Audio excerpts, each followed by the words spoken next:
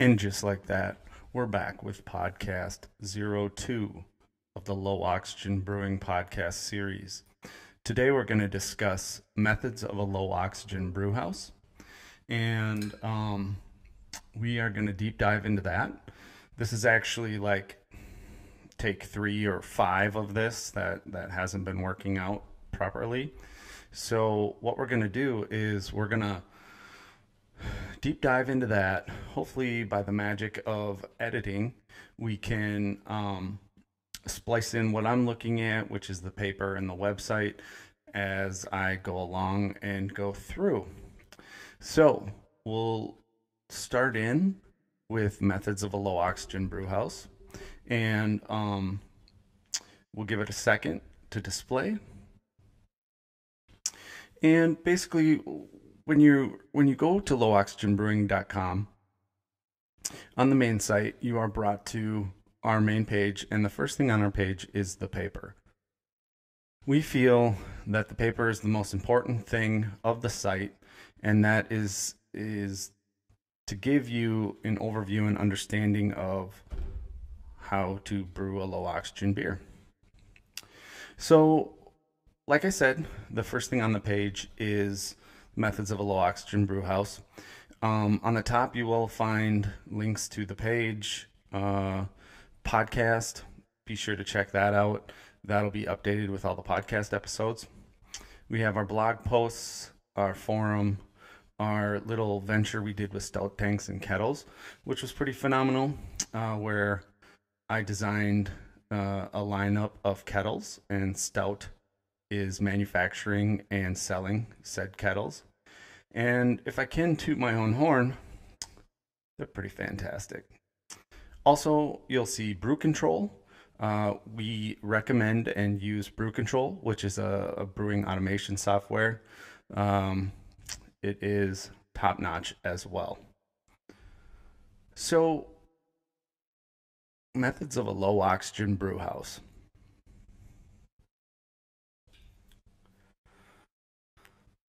What is methods of a low oxygen brew house? Well, it's a summary of key process points and information concerning all that is low oxygen brewing.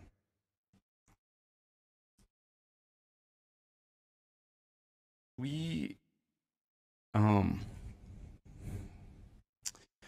if you remember in the first podcast, we spoke much about the uh, the German Brewing Forum and uh, the people with uh, GermanBrewing.net and our group where we founded uh, the basis of it and how to create, but not really create, preserve uh, it. Um, in that paper, which uh, we spoke about on the first podcast, so we really don't need to go back too far into it. Um, it was black and white, uh, and and properly showed someone how to make uh, a low oxygen Helles. So that's great and, and everything, and that was the jump off point. However, with with the division among the group, some of us uh, went some ways, some went other ways, uh, but we ended up here at uh, lowoxygenbrewing.com where we came up with our own paper, which tries to distill it down a little bit more into easier to follow terms. That was probably the biggest complaint, one of the biggest complaints with the uh, original on brewing Bavarian Helles paper. So, one of the other things we want to stress in this paper is that this is not just a, a German Helles style specific process. All these breweries in Germany are using these low oxygen techniques uh, across their whole broad range of beer lineup. And uh, I apologize. It's winter in Minnesota and I have a cold, a little bit of a cold, so I got a little bit of the sniffles. But um we want to emphasize that all your beers, lagers, and ales will benefit from these methods, whether it be hot side and cold side or cold side alone. Um, a lot of our, our methods and procedures on the cold side are professional brewing techniques, um, along with the hot side too. Uh, 99% of what's in our paper came from this book and others much like it, which are professional brewing books taught in professional brewing schools, um, written by professionals and brewing scientists. Um, so let me back up. Uh, Helles is not just the only low oxygen beer in Germany. There is every other beer style they brew. If it comes out of you know one of the larger macro German brew houses, it will be low oxygen. So the biggest thing we wanted to say is uh, lagers and ales doesn't matter; they'll all benefit. So let it jump right into it. In the prerequisites, we we kind of in this section we kind of um give an overview of some what to look forward or what to what to be what to know about uh, about brewing. Now, I'm not going to say that low oxygen brewing is going to rule out newer brewers and less less skilled brewers uh, because it's not. But generally the low oxygen brewing is more of an advanced brewing topic. So with the prerequisites, we assume that you understand at least some of these processes. And uh, we say, can you in the future or are you currently doing the following? Step mashing, low oxygen infusion step mashing with constant temperature. That would be a Herms, a Rims, uh, kettle rims or any other variant on wort recirculation. Can you hold temp, uh, consistent mash temperatures in a single infusion mash? Meaning, um, a lot of things we try and do in low oxygen brewing is to be decently precise in what we're trying to do. So if it's mashing, let's say in this case, we want to be able to hold a temperature you know, within a degree or two.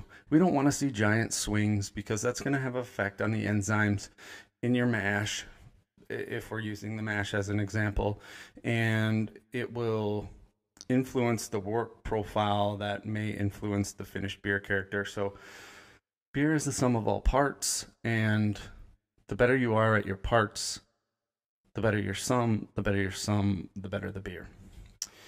Um, do you have a method for rapid, rapidly chilling water and wort? And this will come into play later uh, with uh, pre-boil and actually uh, knockout of the boil kettle. Yeast starters. Are you doing them? Do you know what they are? Um, do you know how to repitch slurry? Do you know how to store slurry? Um, can you get approximate yeast counts, um, preferably with a microscope? Uh, home brewing quote unquote home brewing uh, yeast pitch calculators are often very incorrect. Um, assure yeast health, happy yeast, healthy yeast ferments beer, uh, happy and healthy. Uh, can you control or monitor fermentation temperature? Again, using the mash example, it is very similar uh, that you want to be controlling fermentation temperature because I guess my cat wants to say hi. Uh, because you want consistent temperatures and you don't want swings because swings could um, be detrimental to yeast and yeast health and wort and all that fun stuff. So, can you monitor fermentation progress? And why we care about that is because we are going to generally spund, and we'll get more into that later. Uh, do you have a way to bulk store and monitor finished packaged beer? Uh, can you estimate and control pH? Another pretty important step. Uh, do you have an accurate scale for measuring brewing salts? And can you condition your grain? So that's just a few of the, the, the things that we kind of delve into farther in the paper. And um, we will definitely get more into those uh, as the sections come down. So going down to uh, notes on dissolved oxygen. Now, dissolved oxygen is a pretty big part of what we do. Uh, it's in the name, and we understand it fairly well. So, here's what we know about oxygen. Um, controlling DO levels in your wort and finished beer yields certain results. Controlling DO levels in the mash will preserve fresh malt flavors inherent in the grains themselves by guarding them against oxidation. Uh, from that point on, you are protecting those flavors that were preserved in the mash tun.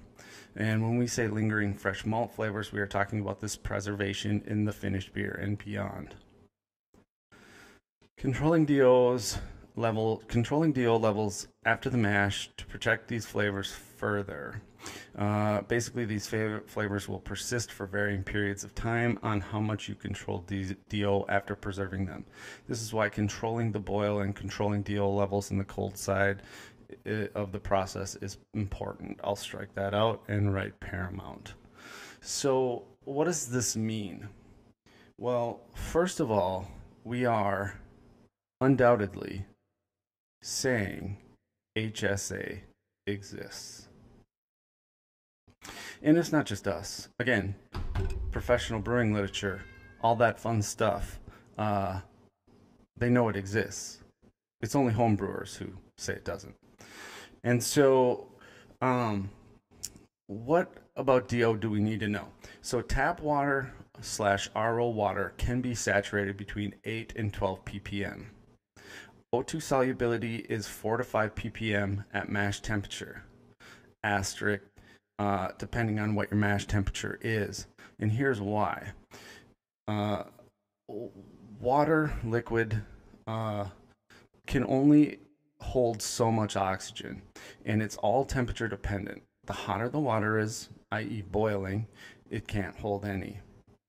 The colder it is to freezing, the more it can hold. And so tap water is going to be at about room temperature. Room temperature water, depending on the variables, sea level, pressure, etc., is going to put you in about 8 to 12 ppm. Okay? Uh, because mash temperature is elevated above room temperature in the middle, you know, between boil and and room, it's going to be a little bit less. And so what we know about that is that um, pre-boiling uh, can um, or uses this using this yeast scavenging method can reduce DO levels uh, to uh, at or below 0.5 ppm. 0.5 ppm is also 500 uh, ppb, and so that gets more. Uh, stupid cat. Uh, that is very important to us. And so, um, what we do know is that uh, pre boiling alone does not provide active protection against DO. And what that means is just because you can remove DO doesn't mean that DO isn't going to find its way back in. Due to the laws of partial pressure and all those other things there's there's these constant reactions and these rules of how these gases want to exchange. All right so metabisulfite uh, sodium metabisulfite potassium metabisulfite uh, they go by Campden k meta uh, smb pmb uh, these are active scavengers. There's also a professionally packaged a solution that is called antioxidant SBT uh, that is made by AEB Chemicals. And um, they use a blend of uh, metabisulfite, which is potassium, uh, ascorbic acid, and gallotannins. And so, what we will we will get more into those scavengers down in the other section. So I won't I won't go too far off the rails there. But we back on on the subject, DOIN can add one to three ppm, and that is because you are taking grains that have oxygen trapped in them, adding them to the water. That whole um, process, stirring, mixing, you're turning water, the surface water, uh, the oxygen's trying to react with the surface water, and that's what's happening. Um, atmospheric diffusion rate of O2 is 1 to 2 ppm an hour.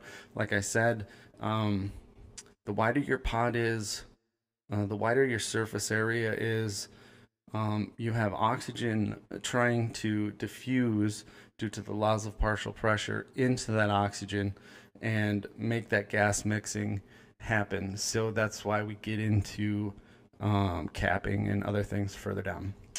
Uh, copper, brass, and aluminum. This doesn't necessarily mean just in your brewing vessels, it means in your tap water. So, water can contain heavy metals, copper, uh, manganese. Uh, your brewing setup can contain copper, brass, aluminum. All these metals have the potential to uh, basically rub off or or get in your brewing wort or water, and that can lead to what is called Fenton reactions, which is uh, oxidative reaction from oxygen and uh, these metals. So Brewtan B may serve to mitigate these reactions. Brewtan B is a gallotannin, which we will discuss a little bit further. There are a few different manufacturers making them. Uh, 0.15 ppm or 150 ppb DO during packaging is desired for maximum flavor st- stability. And I will argue that the best number is zero for all these. If you can figure out a way to get zero oxygen into your beer, whether it be hot or cold side, that will be the best beer you can make. So, uh, a simple list of some areas of improvement in equipment and process. So we want to eliminate splashing or unnecessary aeration. So what that means is um, try not to splash, stir feverishly. Um, just be gentle. Wort wants to be be held and caressed. as it were. And so there are some some big stressors on wort. There's heat stress or thermal stress, which we'll get into with boiling, and there's shear stress. Um, shear stress is stresses upon the wort and beer by pumping, stirring, tight 90 degree bends, high velocity, um, just general poor uh, handling of wort. So we we want to dial it back on that. So we want to, if possible, eliminate copper, brass, and aluminum because, as we talked about a little earlier, there are potentials for Fenton reactions. Um, employ some form of an ant, an active uh, antioxidant, which is some form of metabisulfate or uh, the we call it a trifecta blend where you you blend different antioxidants and we'll get into why you would potentially uh, blend those and so that time to get into that is right now so we have potassium metabisulfite uh, another just standard Campden, tab- Campden tablet that you can find at your local homebrew store or winemaking store or whatever. Um, and what we learned about potassium metabisulfite, or K meta, um, is that several brewing science texts and papers uh, point toward elevated levels of potassium being detrimental to certain enzymatic actions in the mash. Um, specifies keeping potassium levels under 10 ppm. That corresponds to 30 ppm of K meta. If this dose provides you with sufficient enough scavenging, then feel free to use K-meta. If not, you may want to consider a sodium, which is Na-meta, or a trifecta blend. Antioxidant SBT utilizes K meta in its blend. So the reason why, where do we start? Um, the reason why,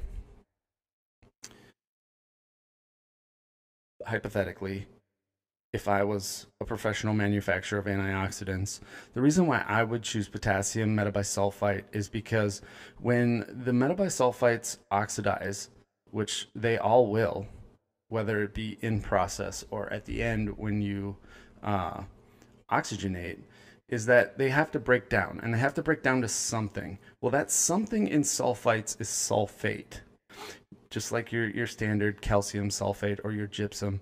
Uh, because they have another molecule attached to them, in this case potassium, uh, potassium isn't going to affect your water chemistry. It will. It'll add potassium, of course, but that is not uh, something that is normally tracked in the brewing water process.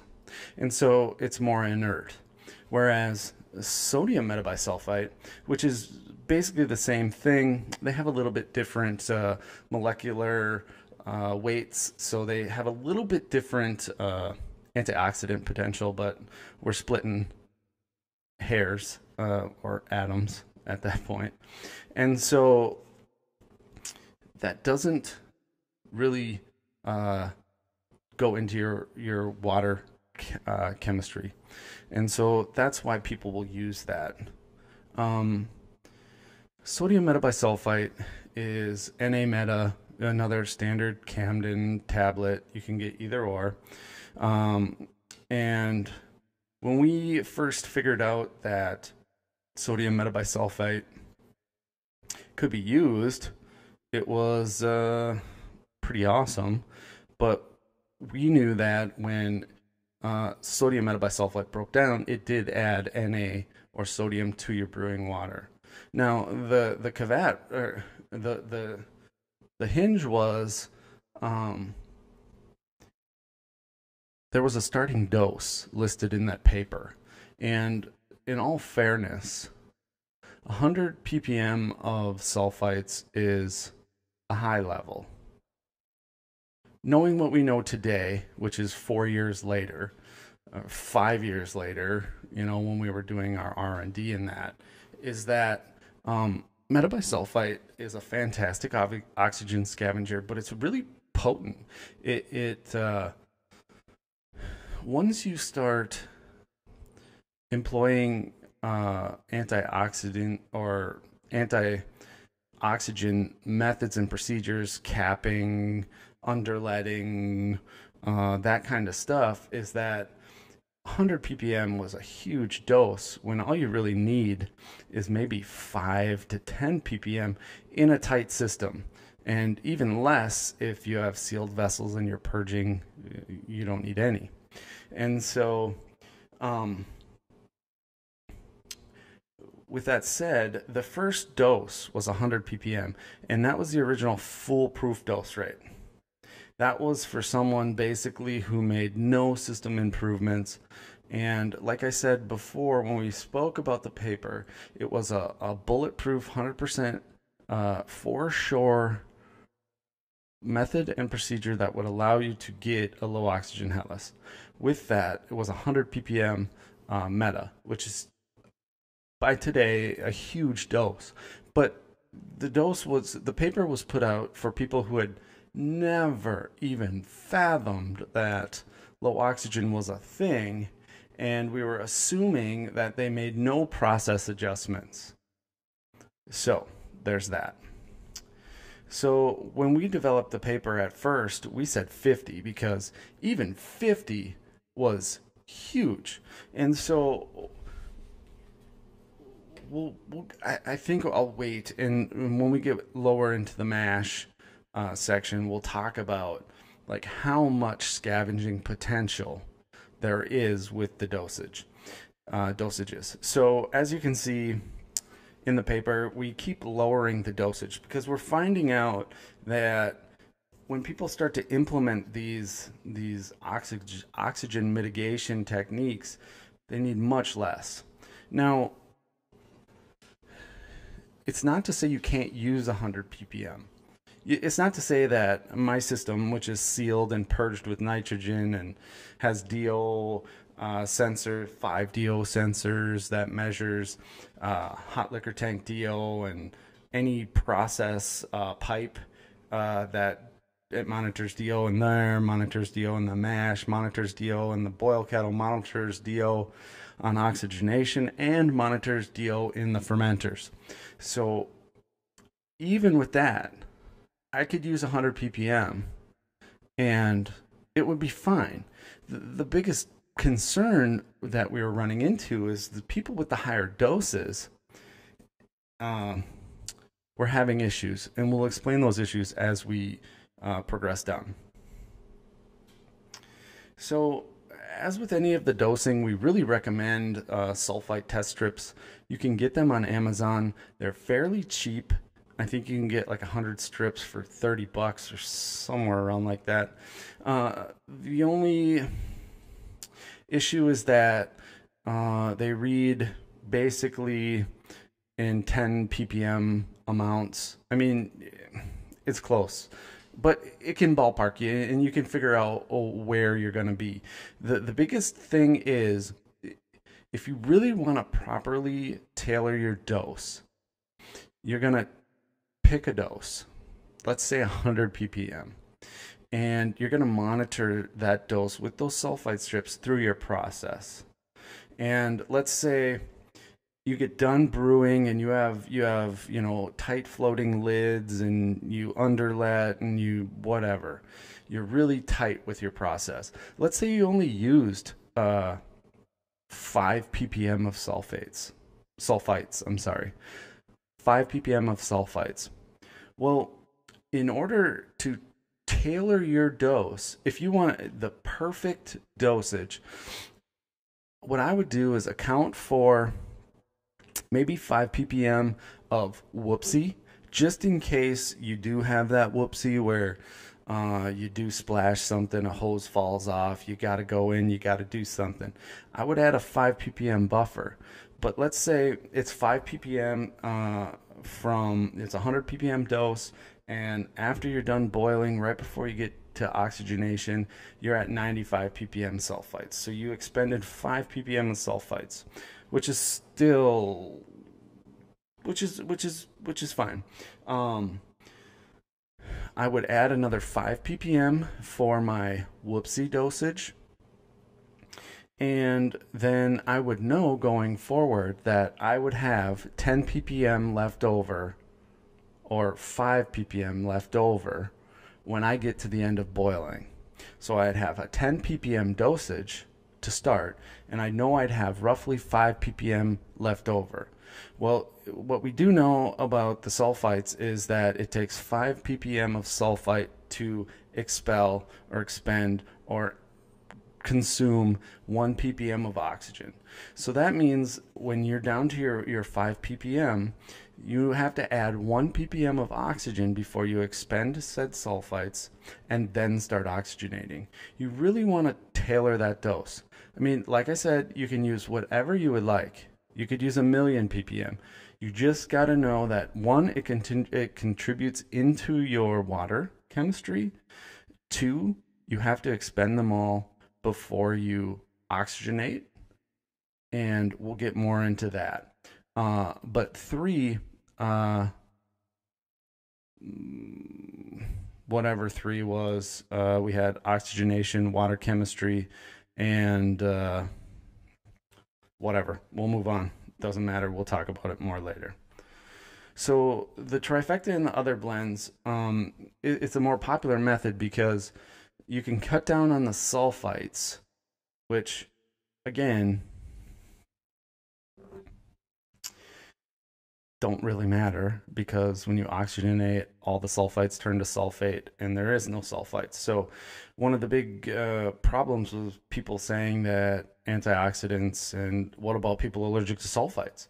Well, there is no sulfites because once you oxygenate, sulfites turn to sulfate and you're done. So, that was another foolish argument made by people uh, that don't understand or have a concept of the process uh, it's it's it's a moot point. It doesn't matter. Like I said, you could use a million ppm dose, and as long as you oxygenate that million ppm, uh, you will have no sulfites. And if you do have residual sulfites, you're going to know because the yeast aren't going to ferment properly because sulfite is used to uh, basically inhibit yeast growth. So it's really easy. It's really straightforward. And that's why, in my mind, it was a, brilliant and ingenious uh, thought to come up with the, the sulfite use. And so, w- what you can do is you can back off on some of the sulfite and use ascorbic acid. Ascorbic acid is a fantastic, um, basically inert antioxidant. It's going to be in all sorts of packaged food goods. Anytime you would get a sliced fruit, let's say you get a sliced bag of apples, they're gonna it's gonna say vitamin C or ascorbic acid. Um, it's in hot sauces and different sauces. It's everywhere. We need it. We like it. Um, so you can use ascorbic acid, and and to the people who are going to ask, well, why wouldn't you just use 100% ascorbic acid and call it a day? Well, for you guys, there's some hmm, there's some scientific papers and research, especially by Bamforth and others, that state that you really want to use ascorbic acid in the presence of free sulfur dioxide, SO2. Um, that's going to inhibit what is called a super oxidative reaction. Vitamin C ascorbic acid mixed with oxygen can superoxidate and basically um, not only negate its use, but actually harm, not really harm, but affect the end product and affect in the way that you're going to oxidate your beer. And so if you use ascorbic acid, you always want to use some form of sulfur, or I'm sorry, sulfur um, uh, molecule. And so that will kind of mitigate that oxidative reaction or that super oxidation, as they call it. And so the other thing about the blends is you can add in some gallotannins. And gallotannins are um, tannins from some kind of nut, and that will bind and chelate and bind and drop uh, any heavy metals. And so there's a there's a, a bond between the gallotannins and the metals, and they allow them to settle down to the bottom and get them out of uh, basically free radicals out of your beer and allow them to, to settle in the trub or the uh, mash, spent grain, that kind of thing. There's some different manufacturers of the gallotannins. There's Brewtan B, which Wyeast is carrying. There's uh, um, oh gosh, AEB is making a gallotannin. There's another gallotannin by uh, I don't know. There's like three or four. They they do the same thing. I think it's a gallo nut. That would make sense.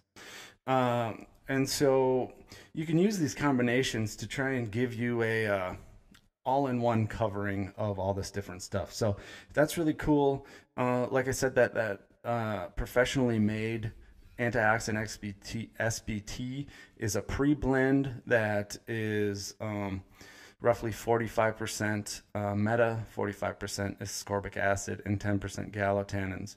However, the cool thing is that you can make your own. All this stuff is, is pretty much off the shelf at the homebrew store that you can get.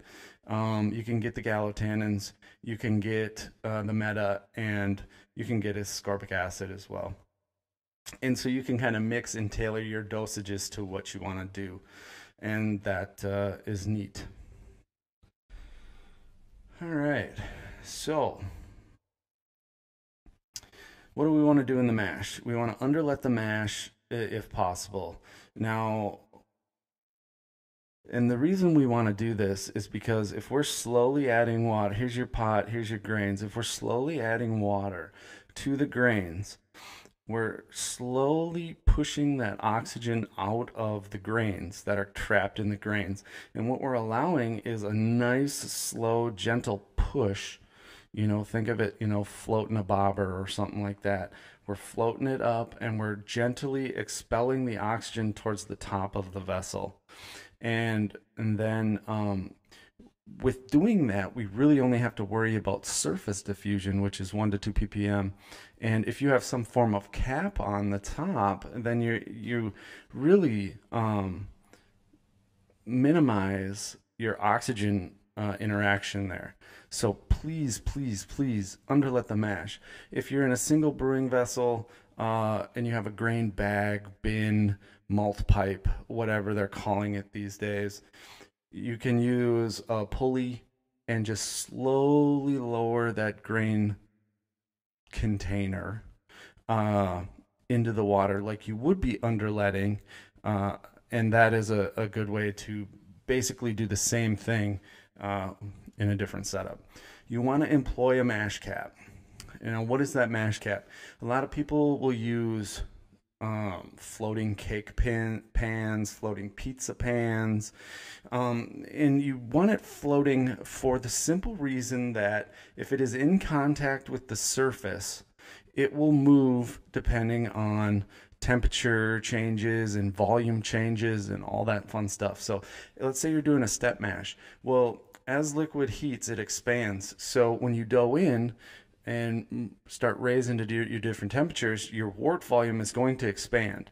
And that expansion, if your cake or if your mash cap doesn't float, isn't going to work. You're going to sink your mash cap, or you might uh, have a gap underneath your mash cap.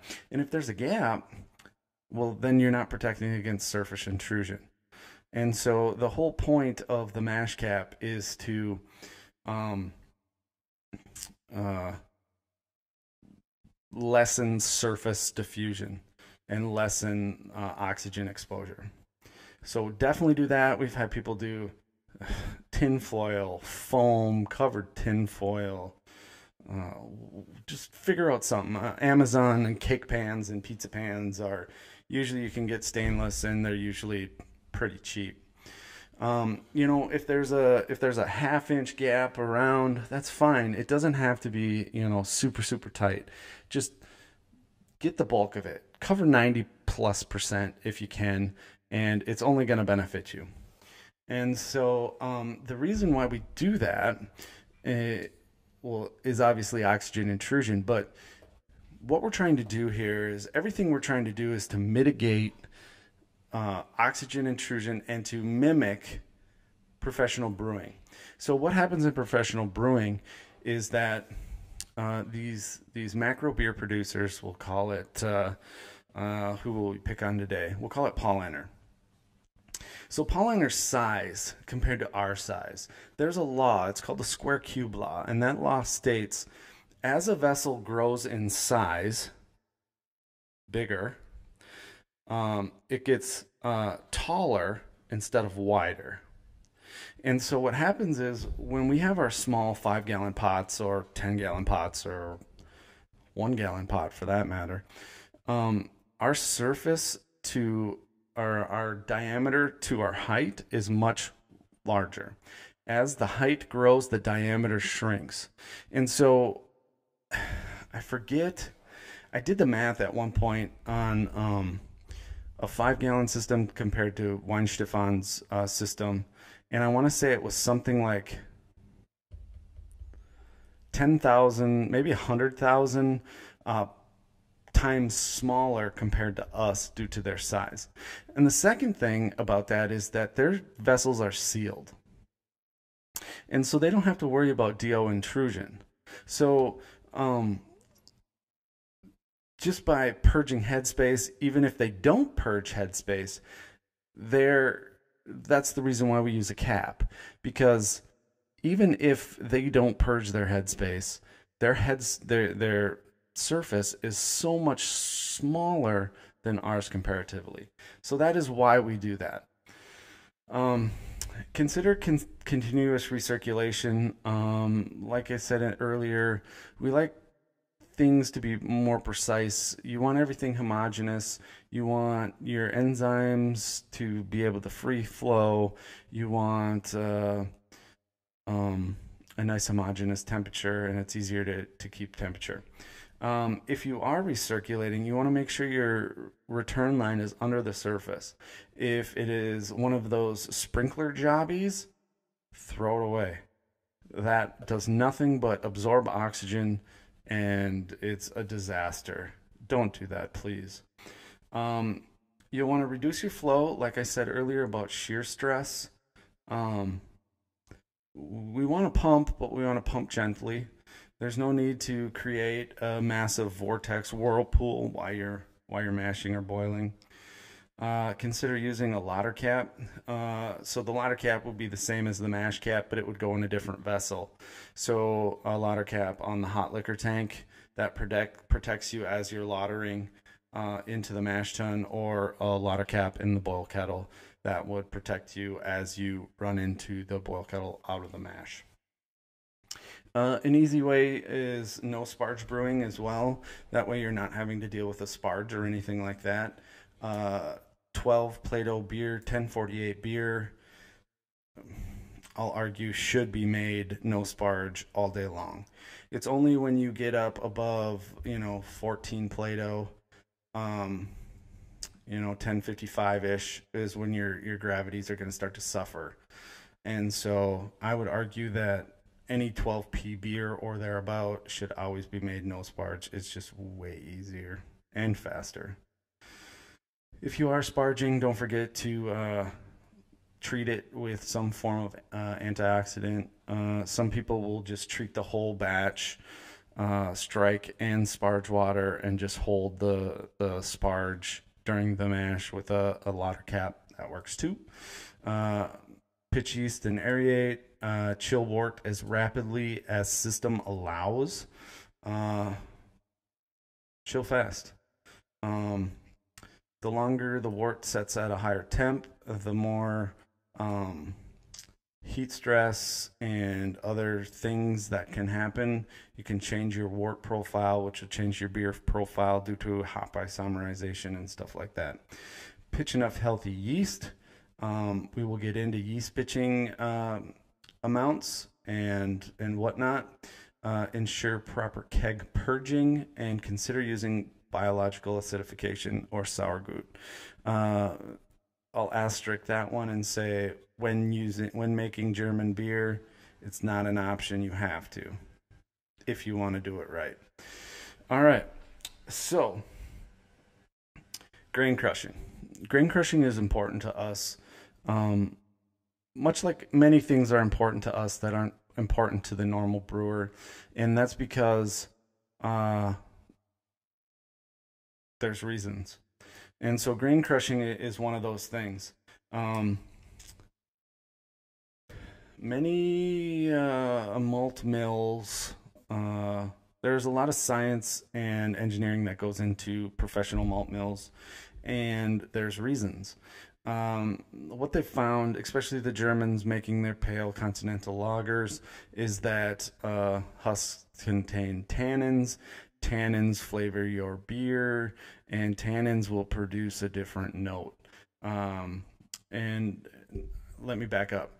Husks will produce a, a harsher note. I think is is what they uh, specify. And so, um, you have uh, homebrewers basically have two options. They have a two roller mill and a three roller mill, and we want to keep the husk as intact as humanly possible to stop those uh, little shards of husk getting into the finished product, which is going to make it uh, a little bit sharper, as they call it. So you'll always get a better crush with a three roller mill, but we understand that three roller mills are more expensive and not everybody has them. But uh, with a three roller mill, you can have a coarser crush and then a finer crush and help you open that up. And so milling speed matters um, much more than your style of mill. You want to mill really slow. And when you're milling fast, that'll just pull and shatter the grain. And what we want is we want a nice fine crush. We want a slow rate, really, really slow. And you want to target under 100 RPM. 60 or so, I would say, is probably the perfect speed. And what you're going to do is drag that husk or drag that that kernel in, and you're going to softly squish the kernel and let it open, leaving you with a much in, more intact intact husk and that is is going to be what you want because of these reasons. And so even if you don't grain condition, a slower, better crush will yield a lot of these same uh, advantages. And they are a coarser crush. Coarser crush improves lautering, which means you're not going to get stuck sparges. Coarser crush inhibits LOX. So lipoxygen- lipoxygenase is a enzyme and it's it's in the the endosperm right behind the acrospire. and when that acrospire in the grain kernel is crushed and that is allowed to interact with oxygen that's when beer staling starts so that can happen as little as 15 minutes after grain crushing the minute you um, expose that. Now the the the curveball is it's only in pilsner malt. Any other malt, the kilning kills that LOX. So it's a good thing to know with pilsner malt. You want to crush as as soon uh, with the least amount of time possible between crushing and doughing. And so um, Grain conditioning will improve husk elasticity. That's because you're going to add a little bit of moisture to that husk and turn it from dry, and brittle to a little bit more elastic.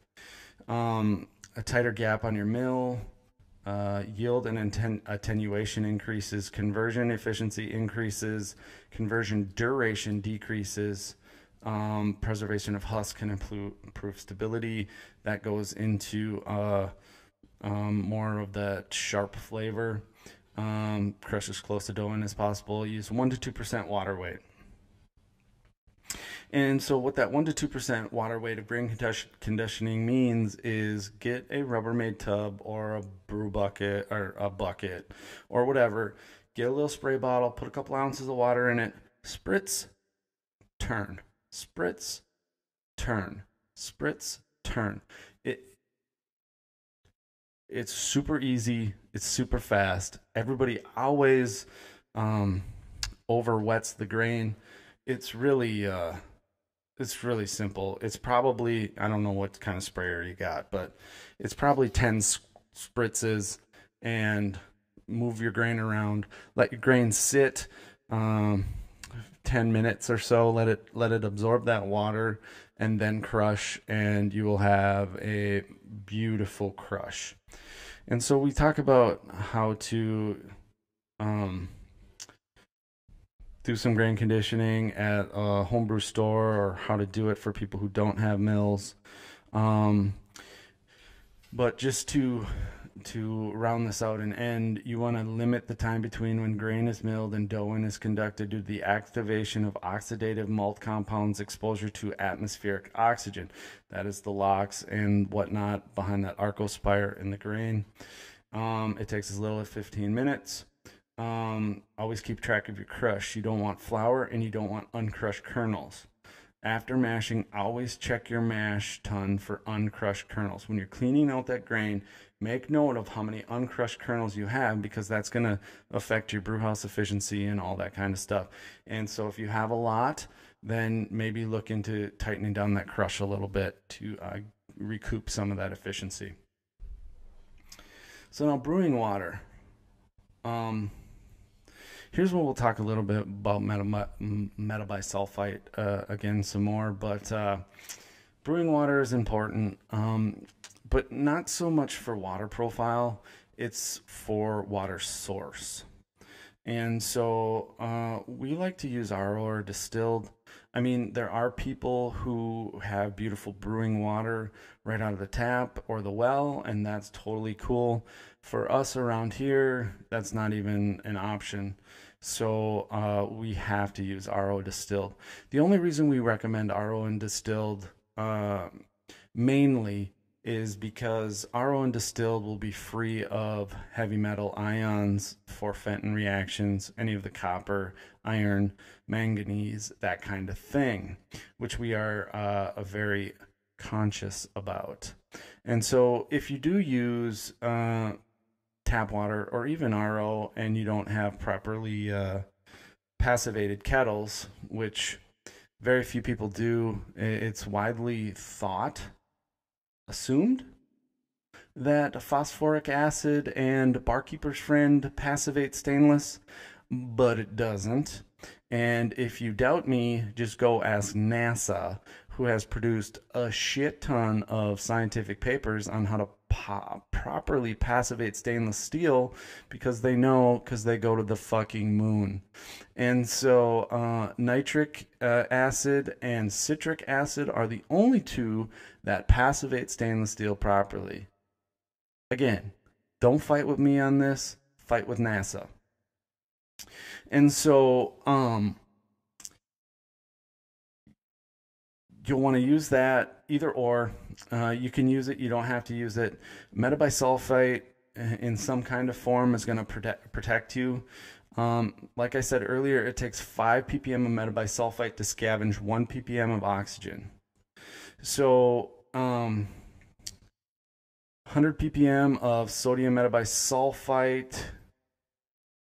Uh, NA meta has the potential for uh, that and blah blah blah blah blah and so that contributes to your water chemistry no one anymore is using those doses so basically um, you're going to add roughly 5 ppm of meta or 5 ppm of um, uh, uh, uh, uh K meta or something like that. It's really minuscule at this point where it's it's basically neg- negligible. Um, calcium sulfate can be used uh, when higher sulfate levels. Um, calcium chloride is basically fine for 95% of the beer styles. I like to target 40, 40 to 50 ppm of calcium and use calcium chloride and let the chloride fall where it may. Um, if you are using a high dose of uh, of sodium metabisulfite, make sure you watch those sodium levels, um, especially if you're going to use any baking soda or anything like that. And uh, reduce your dose as you tighten your system. We spoke about that and make sure you're using some kind of sulfite strip to evaluate. Now, metabisulfite is a pH reducer. Again, if you're using the high uh, 100 ppm dose, you're going to see about a, a drop of about 0.1, but no one's really using that. And so everybody's using 25 ppm or less. So you're looking at 0.02. And so, it, again, it's probably negligible on um, what it's going to do for you. But just be conscious of that it does alter pH and water chemistry, and that um, is going to make a difference potentially. So for recipe formula uh, formulation, it's going to be a little different, and because um,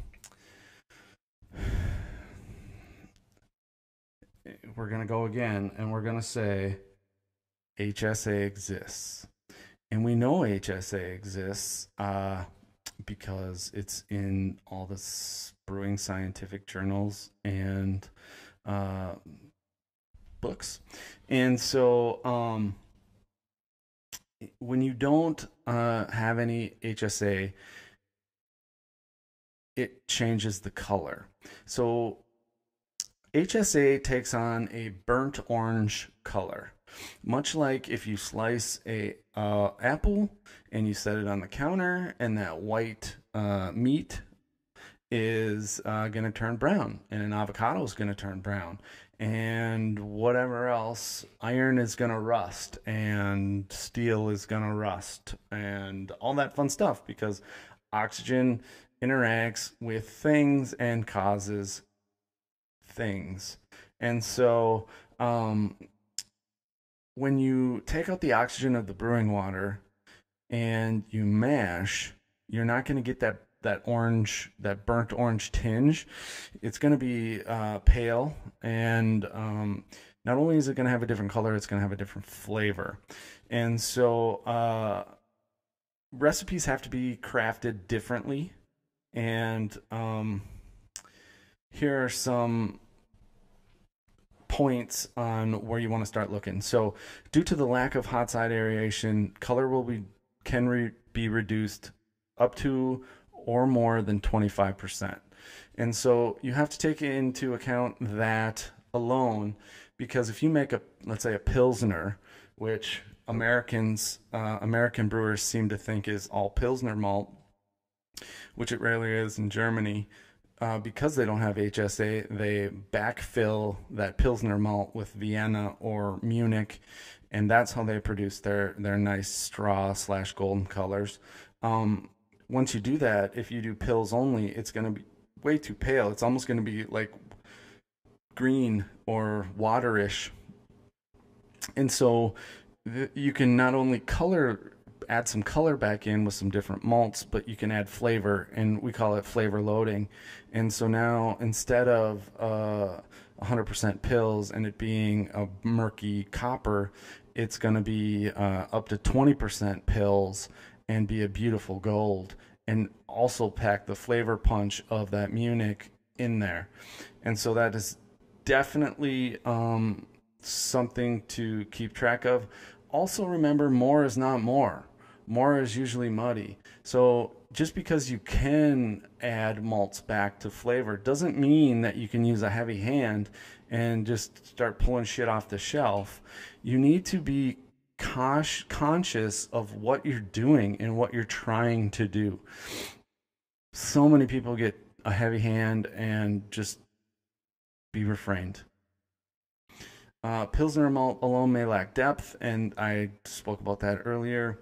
You can use a blend of Pilsner and Pale Ale malt or Pale malt to bring in some of those doughy and bready uh, kind of flavors because that's usually a more a little bit more robust malt. It's it's kilned a little longer, and so you can kind of use that as flavor loading as well. Uh, your wort flavor, as I spoke earlier, is gonna taste different. Um, it's not to be just like sickly and uh, cloyingly sweet. You will maybe think it tastes like uh, honey or honey bunches of oats, cereals, um, honey graham or uh, Golden Grahams, stuff like that. Um, Vienna and Munich malts uh, blended in small amounts can add a muddy flavor. And what that means is if I'm going to add a malt what I'm looking for when I craft a recipe or when I try and make something that tastes like something commercial is that if I'm going to add like 2% of a lower kilned malt, so let's say 2% of Vienna to 98% Pilsner, there's no way in, there's no way I'm going to be able to pick up that that Vienna and it probably isn't going to complement the Pilsner. So that's what I mean by muddy. Now, if you're going to add it, add it in an amount, 5% or more, where it's going to actually uh, make it into the flavor profile and allow you to distinctly taste a difference. Whereas it's not just kind of like, I don't know, it's Pilsner or it's kind of like Pilsner. I don't know. You get Pilsner in Vienna. You get um, honey with dough. And then you can really start to get these defined flavor um, peaks, as it were. Um, consider blending Munich. Uh, in all beers, you can blend. Uh, there's three different Munichs now from Weyermann, and uh, that's all I'll speak about because I feel Weyermann is the best and the only maltster I will use. And so uh, they have the regular, the light Munich, the dark Munich, and the Barke Munich. And the the Barke Munich kind of straddles the the light and the dark, which is a great kind of I don't know. I, I keep all three in, in stock on hand at all times. Um, higher caramalts, uh, such as Cara Munich, can be used successfully. Well, a lot of people who are not brewing low oxygen, who are just brewing regularly have a, a bad taste in their mouth, as it were, pun intended, about caramel and how it turns too sweet and yucky and it makes the beer sweet. Well, that's because you're oxidating the the flavonoids of the these malts, which are causing them to be super sweet. And so when you don't do that, you can make a pilsner that is 98% Pils, 2% Caramunich 2, and it is fucking glorious. It tastes like well, uh, Ayinger's uh, pilsner is Caramunich and pilsner, and so that would be a good benchmark. It's a phenomenal beer. It doesn't it doesn't taste like you think it tastes. So just keep that in mind. The other thing to keep in mind is that roasted malts such as Carafa and roasted barley and those guys, they come through wicked potent. In fact, I can easily detect up to a half of a, a half of a percent in a beer, like right off the top. I'm like, oh yeah, that's coffee and chocolate, just boom.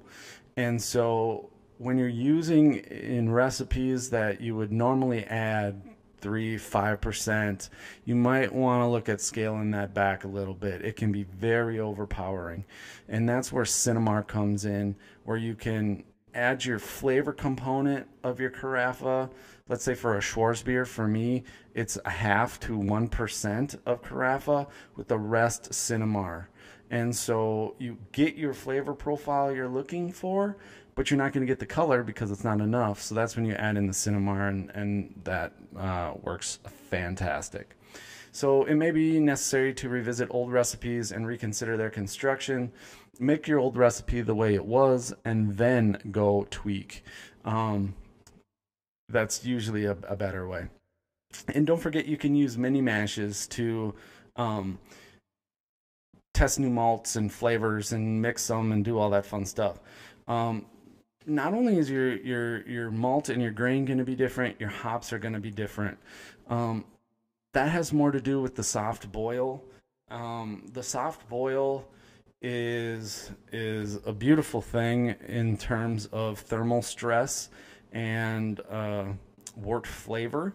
So a soft boil is is uh, is a great thing, and we'll deal more with boiling later. But important things to know is that hop flavor will possess more presence and brightness. Hop aroma will be enhanced. Um, you can use high bittering hops or hop extract to save on um, any vegetal or anything like that. That's going to come really through now. Um, you're going to have a clean palate, as it were. So you have to be very uh, cautious, conscious of how many hops you're using in the kettle and what that's going to do. So also. Um, soft boils may alter hop isomerization. You might have to play with it a little bit. I really don't have an issue with that.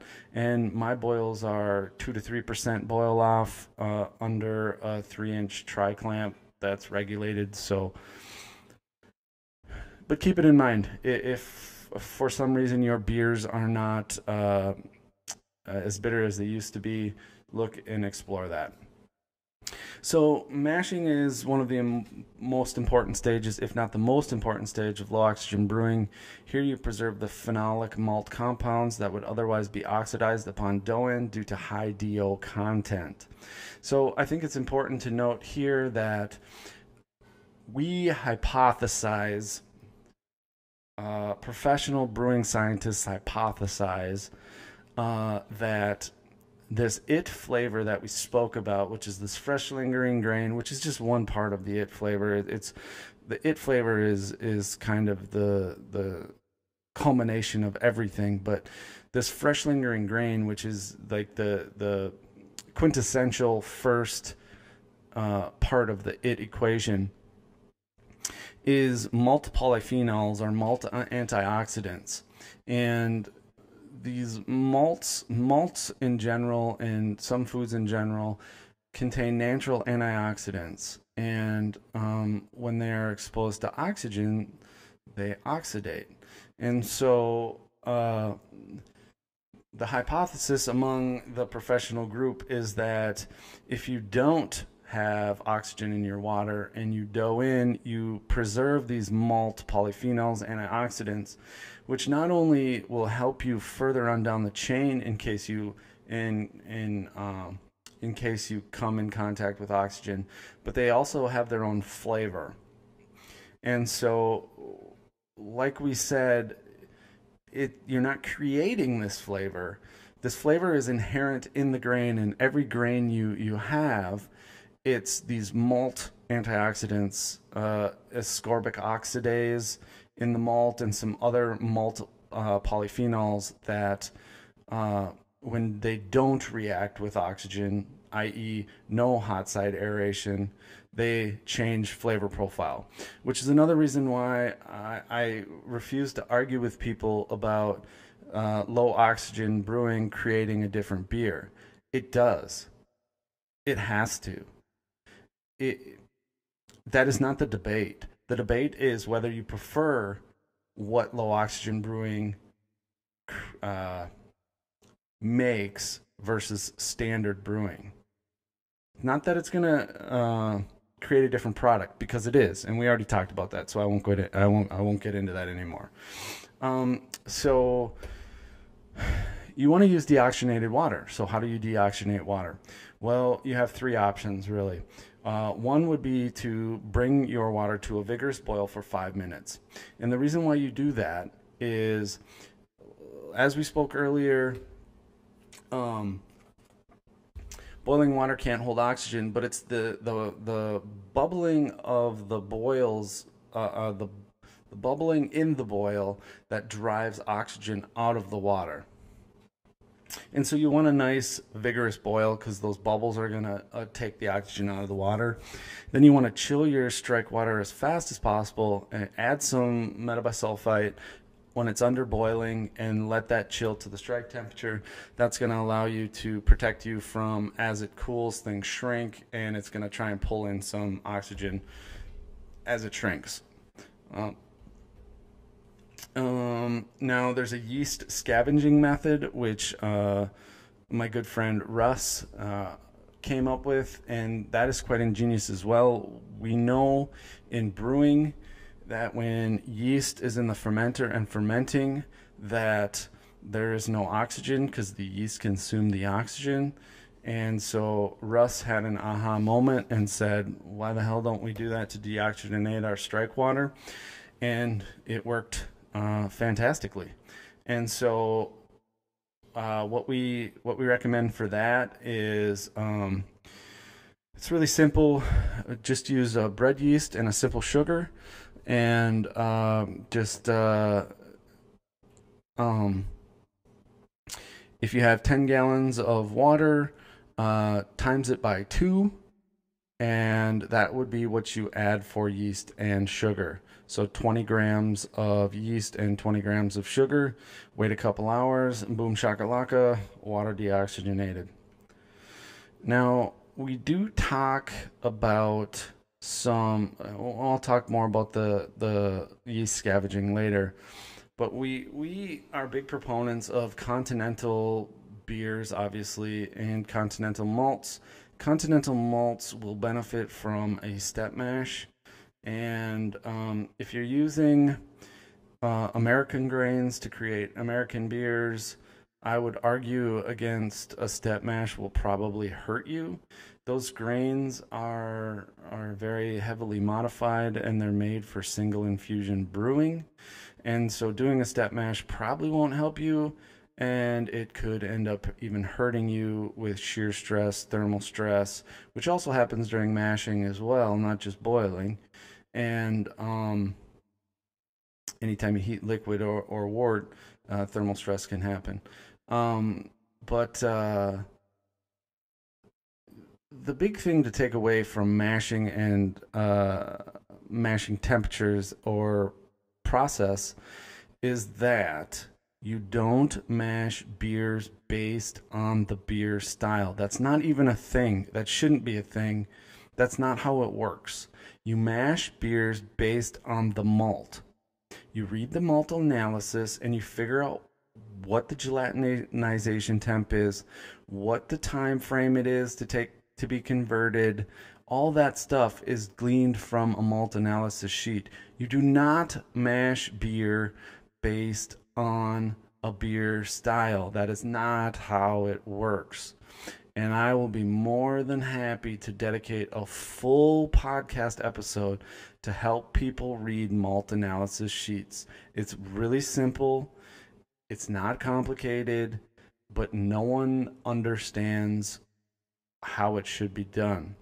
Now, to throw you guys a bone, I understand that a lot of people get their malt from uh, your local homebrew store who doesn't have a malt analysis sheet. And for you folks, uh, if it's American single infuse, if it's German, uh, dough in at 144 for 20 minutes, raised to 147 for 20 minutes, uh, raised to 152 for 10, raised to 163 for 30, and mash out at 170 for 10. That is a fail-proof mash, mash schedule for a continental malt uh, based on a higher gelatinization temperature from drier growing conditions in the last few years. That's what I got. And so, um,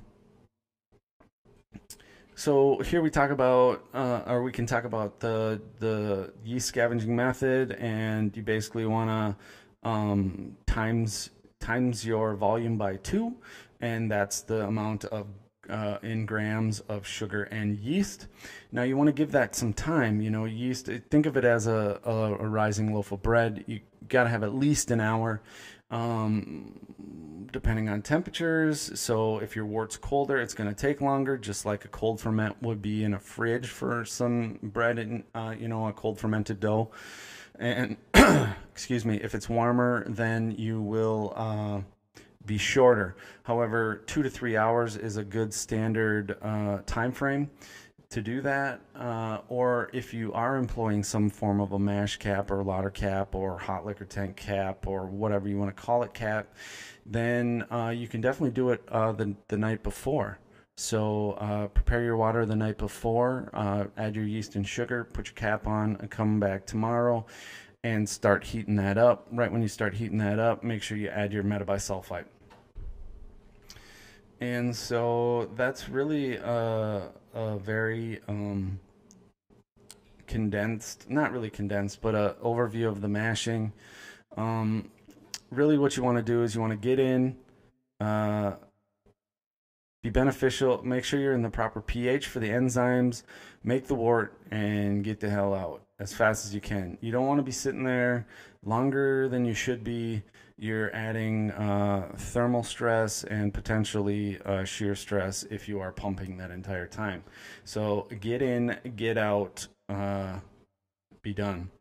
Uh, the the other thing you should you should know is that if this is your first time brewing low oxygen, after you do your mash out or when you're running into your boil kettle, taste that wort. It's going to be the most gloriously uh, tasting, differently tasting wort you've ever tasted. It's magical don't forget to taste it. If you are a lautering, don't forget to treat your sparge water. Make sure you underlet if at all possible. Uh, sparge with care. Make sure you're not using any more of the, any of those sprinkler things. You're not whipping the wort with a whisk. Just uh, if you have to stir, just give it a gentle stir. Fold it like you would uh, making. Um, angel food cake or a heavy whipping cream. Um, and you got to be careful about cloudy runoff. So that the other benefit we uh, we get from recirculating mash is that your wort is nice and clear. And why that matters is not only because it's absolutely beautiful, is because the clearer the wort is, the less fat and lipids from the mash and the grains are in the in the wort, and so fat and lipid uh, fats and lipids are in the malt inherently. And when you're mashing, you're creating fats and lipids. And so um, you want the maximum amount of fats and lipids to be left in the spent grain and not in your wort. When you continue over uh, cloudy wort to your boil kettle, you're going to get a boil up foam, which is not hot break. That, that initial boil foam is going to be uh, off colored. It should be brilliantly white. If it is off colored, that is a surefire sign that you uh, had some HSA. That's called teague, and that teague shows uh, is an indication of hot side aeration.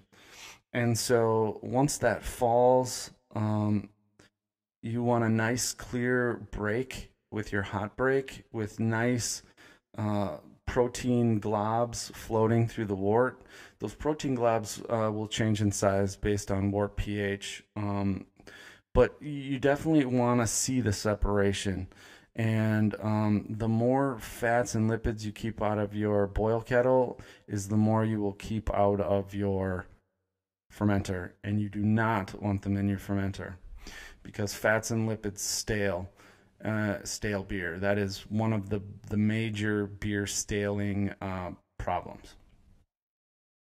So now we'll go into boiling since we're we're logically there anyways. So boiling the wort is is different uh, than you're used to, and it is important to control th- heat stress or thermal stress or thermal loading. There's a professional indicator uh, that is called TBI. It's called the thermobutyric uh, acid indicator. I want to say the the therobaric TBI. We'll call it today. Uh, my brain's not 100% with me. So uh, the TBI index is specifically made in professional brewing for thermal stress on the on the wort. And high TBI is bad and low TBI is good. High TBA is created from intense boiling, intense long boiling, and that's bad.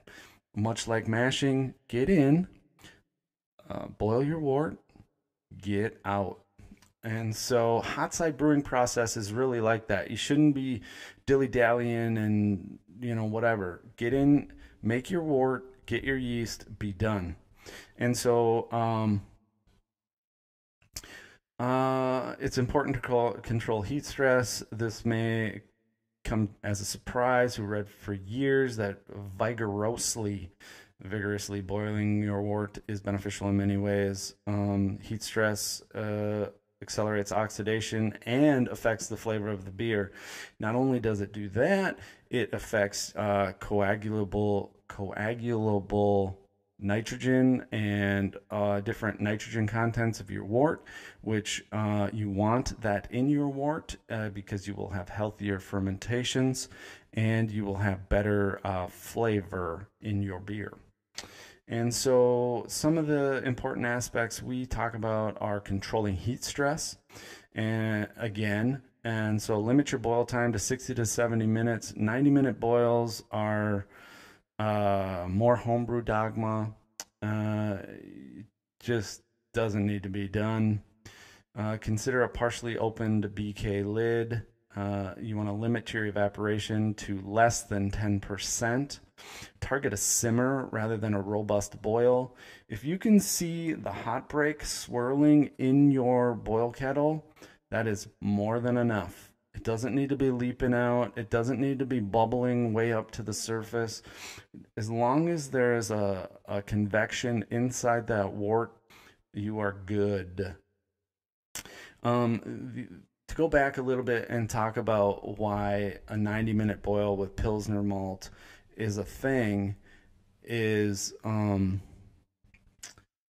I'm not sure where that, that comes from, but the the Pilsner malt is the only malt with uh, DMS potential, uh, potential DMS, um, but it's pH dependent as well. And so a higher boil pH, which would be like a, a 5 4, um, boil pH will split the SMM, which is the precursor to DMS, uh, faster, uh, twice as fast or whatever, three times as fast uh, than a low pH going into the boil, like a 5.1 or a 5.2. And so, an easy way to mitigate the potential for DMS is just that if you're using Pilsner malt, is just to have a little bit higher boil pH starting of 5.4. And within 30 minutes, you will have no uh, issues with DMS.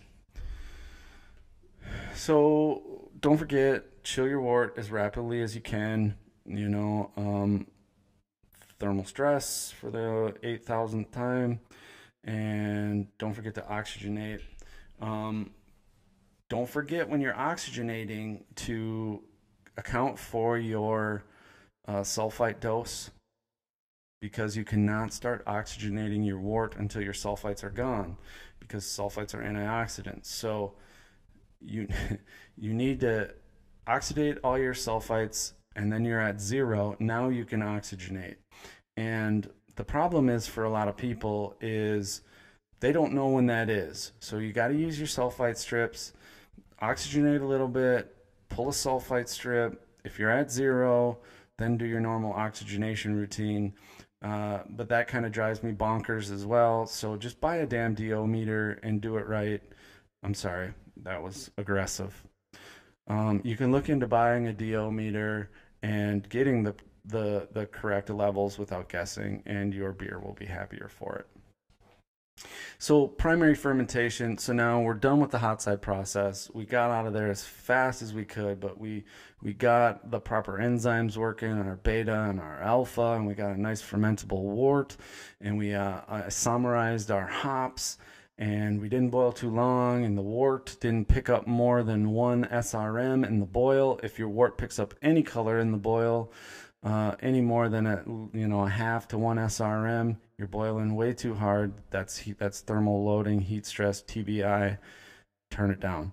Uh, so now we're going into the fermenter, but but what we we're gonna do some form of a whirlpool in the boil kettle because we want to knock out all that sediment, hot break, now, cold break isn't formed until the wort hits, I think, below 80 degrees or something like that. So, cold break won't come out of solution until your wort hits that. So, everything that's falling initially is hot break. Hot break must be removed. It is not even an option.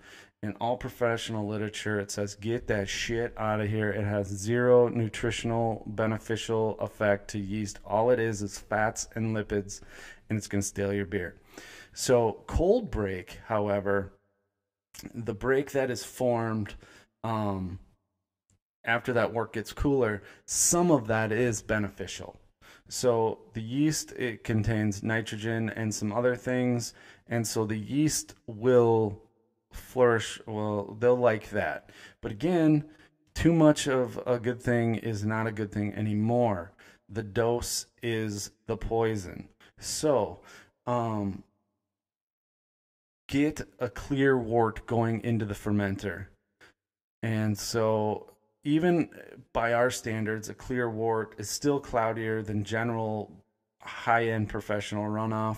And so, we're going to have a little bit of that cold break still remaining. So, we'll be good.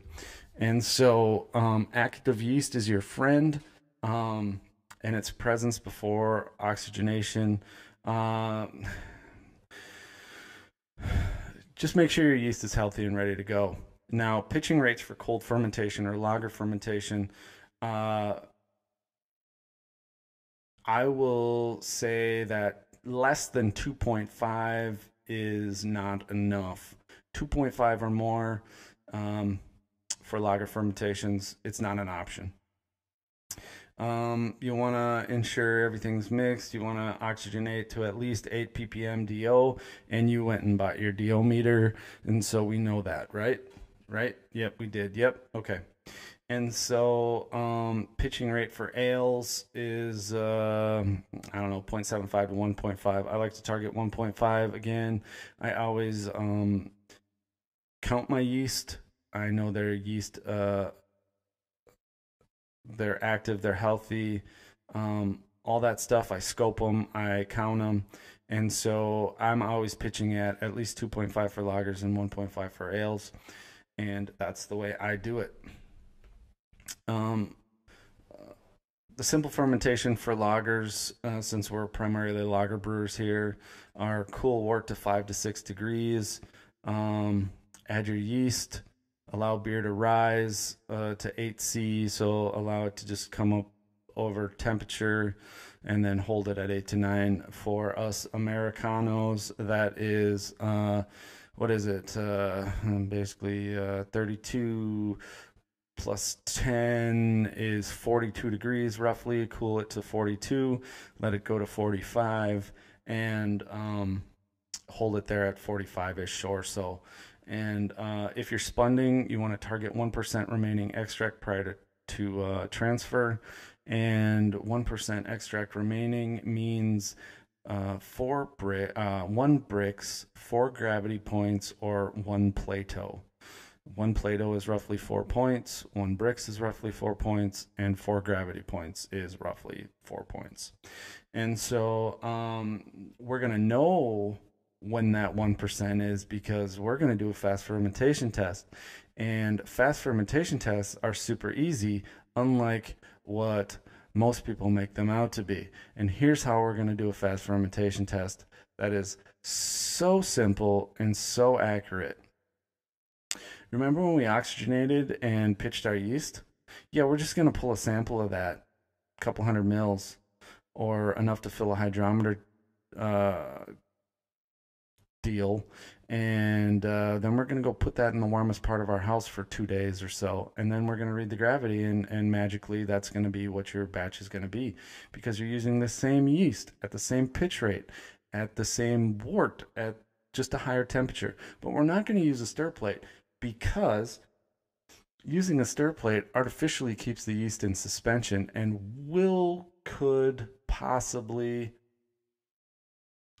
alter your final gravity. I don't know why people fret about fast fermentation tests and about how they're difficult and why you would use a bread yeast or do whatever the hell goes on there instead of just grabbing a stupid sample right from your fermenter when you pitch yeast. Super easy. And so we're gonna we're gonna pull that off that fermenter with one percent remaining, and um, now we're gonna go to the cold side. However, you did the hot side, if you did it low oxygen, you didn't do it low oxygen, who the hell cares? Um, everybody should be in agreement here, which we're not, which is odd and frustrating and stupid. But so we're going to rack that over. We're going to spund. If you missed the spund, you can always sugar prime your fermenter, where you would take your your sugar amount that you would add to your uh, bottling bucket. If you are bottling, let's say it's two ounces, let's say it's four ounces, you're going to add that to, I don't know, 10 to 12 ounces of water. You're going to dump that, uh, you're going to boil that water. You're going to boil the shit out of that water for a couple minutes with the sugar in it. Then you're going to go with that hot ass uh, jar of water that's boiling and dump it right in your fermenter. Your fermenter thermal mass is going to cool that, but you didn't add a shit ton of oxygen uh, because that was boiling hot. And then you're going to allow your fermenter to start re-fermenting again for an hour or two. And when you see your airlock bubbling like crazy again, you're going to rack that shit right over to the keg and that is wicked easy. However, uh, that is the last uh, step. Uh, that is the last ditch effort. It's going to add a little bit more alcohol to your beer. It's going to add potentially a different flavor. And so you really want to do the spund. If you can't do the spund, do the, the fermenter prime. Don't ever, ever, ever rack still beer over to a keg unless you want that shit to oxidate like immediately. So um, now that you produce that wort and you transfer it to fermenter, you you begin the next phase of flavor protection, and so you have to be oh just crazy about cold side oxid- oxidation. You can rack this over to a, a a keg where you're gonna spund and serve out of and you're going to have 1% extract remaining. And the reason why we transfer actively fermenting beer is because we know from earlier actively fermenting uh, yeast with sugar are going to consume oxygen. So any DO pickup in your hoses, your transfer, your improperly purged keg, because we can't purge kegs properly. And I use we as a term of basically everyone on this planet. And so um, we're going to use the, the yeast to our advantage there and help them uh, have them mop up any uh, bad stuff for us. And so there's a couple different ways you can do that. And um, both of them involve a properly, not properly, that's not the right term, a purged keg to the best of our abilities. And we have two ways to do that. Um, we have blog posts discussing them, but one is to completely fill the the keg to the brim and then push that out with sanitizer. The other way is to actually forego your airlock and connect your fermenter out directly to your keg out. So your dip tube goes all the way to the bottom, and then fermentation will actually purge that keg. Six and one half dozen of the other. They'll both do what you need them to do.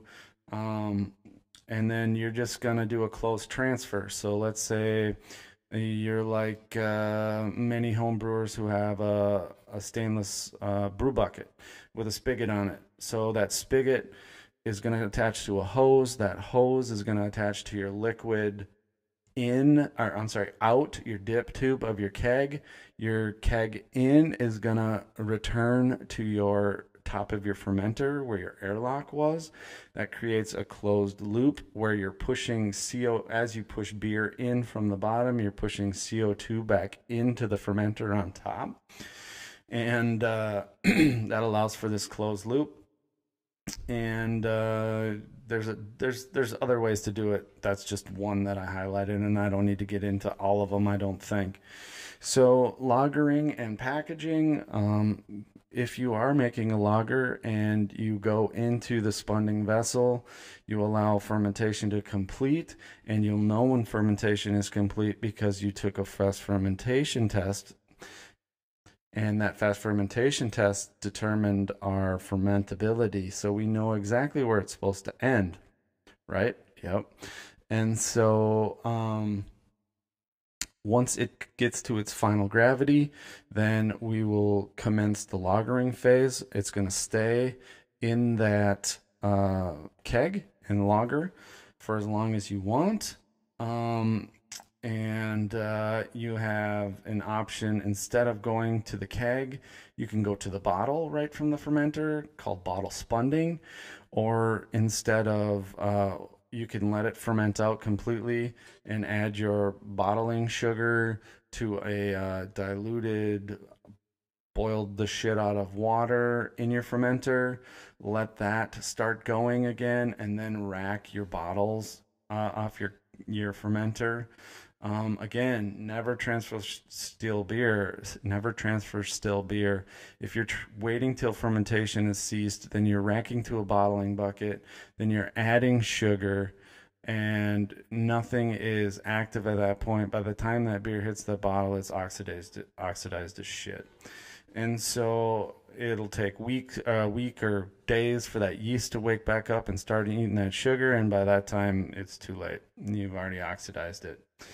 Um, you can can and you can can condition where you can do the same thing you would be with bottling or you can try and um, counter pressure fill into the can. Um, counter pressure filling into the can you will uh, have oxidation. Uh, I do can conditioning on my Hefeweizens. I rack uh, right from the fermenter into the can and uh, seam the can, and then my Hefeweizens are can conditioned, and so the yeast is in there and everything. So if you want to, you know, shake up the can a little bit, you can get the yeast. If you don't, you don't have to. And it was uh, properly carbonated and um, zero oxidation. Uh, so the goal of the paper was to allow the homebrewer uh, varying levels of expert uh, experience uh, to adapt and incorporate basic concepts. And as I said before, you can do the hot side. You don't have to do the hot side, but if you're not doing anything on the cold side, uh, you should be because your beer will be better because of it.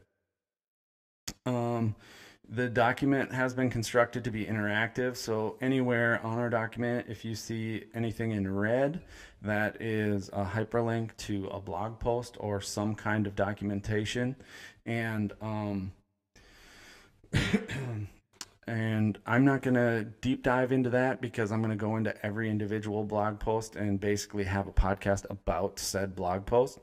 And so um, we'll just leave it at that. And don't forget, if you want a, a, copy of this paper, you can click it on the bottom of the page. Also, don't forget about our references pages. Um, our reference pages are very comprehensive on all our references, all our books, all our documents, scientific journals, papers, everything.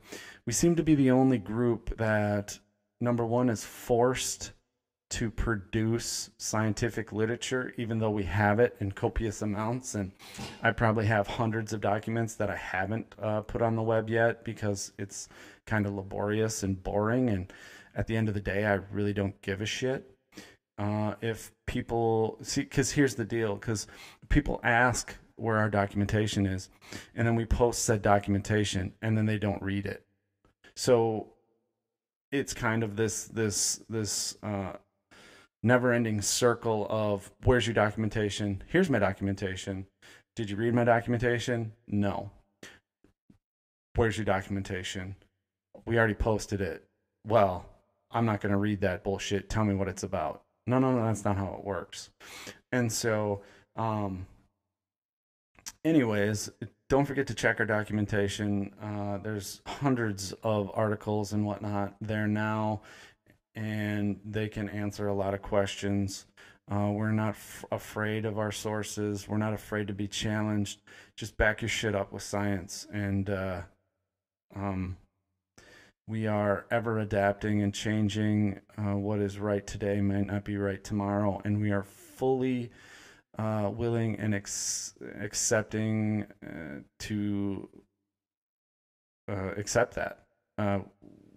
We are trying to make the best beer humanly possible, and um, if if something changes that that goes against what we're doing now and allows us to make better beer, we're going to do it in about two seconds flat. And so that's another difference between us. Uh, we don't really subscribe to dogma. Um, we are on the cutting edge and we kind of free float uh, to allow us to get the best products humanly possible. So, with that, that'll be the end of podcast 02. And hopefully that helps uh, kind of deep dive into the paper and the whys and the hows. And in the next one, we'll probably uh, cover something on the blog and kind of deep dive into that. Probably something of, of higher interest like CO2 and CO2, uh, all the stuff with CO2. That seems to be a, a eye opener and a, a, mind blower for folks uh, that uh, the bottle CO2. Uh, so we'll just do this. We'll do uh, a sneak peek the CO2 you are using is impure and adding oxidation. But, anyways, that'll be a, a topic for another episode that should uh, perk your ears up a little bit. And um, we will uh, see you next time. Cheers.